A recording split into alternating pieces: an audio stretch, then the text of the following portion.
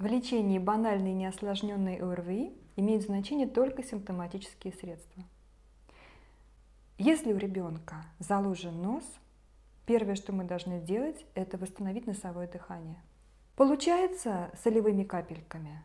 Замечательно. Не получается, если отек достаточно серьезный, придется использовать сосудосуживающие препараты, но не чистите с ними. При использовании сосудосуживающих препаратов нос голодает в течение 6 часов.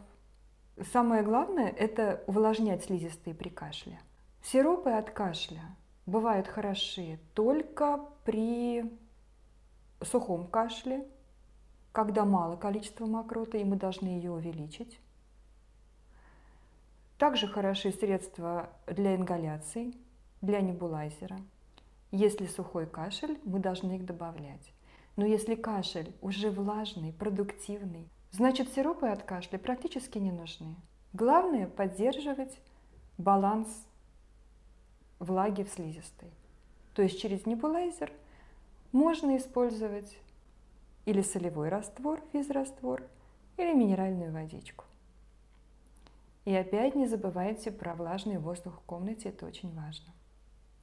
Если у ребенка уже нет высокой температуры, хороши в лечении РВИ тепловые процедуры.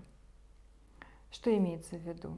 Можно растереть грудку, спинку ребенка согревающими мазями. Как отвлекающую терапию можно использовать горчичники.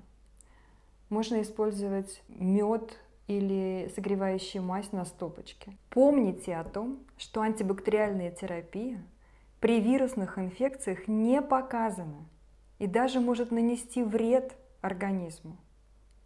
Антибиотики назначаются только на осложненные РВИ, только по показаниям достаточно строгим, только после получения результатов общего анализа крови и только врачом.